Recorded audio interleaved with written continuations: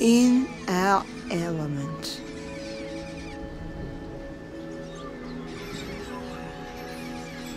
He came from Norway, then he went to Cape Town, then he went to Neutral Bay.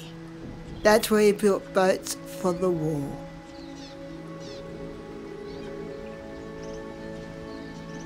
He loved the water. Dad was a seaman through and through. More than that, he was special.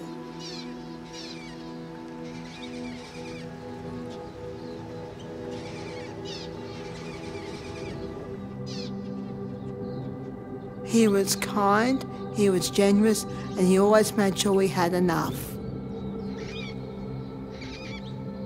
On the weekends, we would go out on the boat Norina. She was named for me, my sister, and my mum Erica, Nina, and Noreen.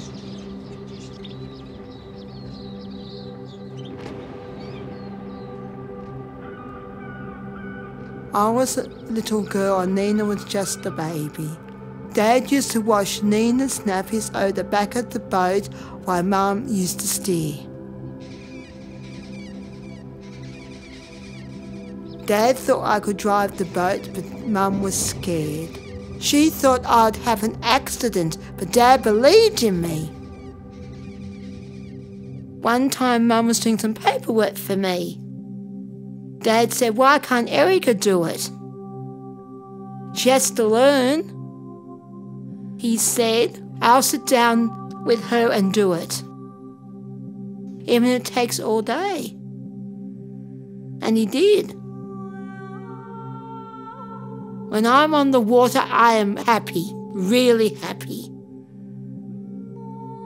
I don't get sick on boats or anything. I love standing up and watching the world go by.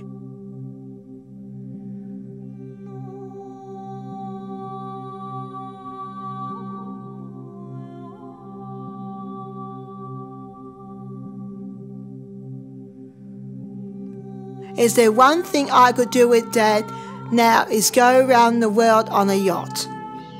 We will go places on shore, then come back and then hang out on the boat. Dad was the kindest dad we could ever have. I miss him.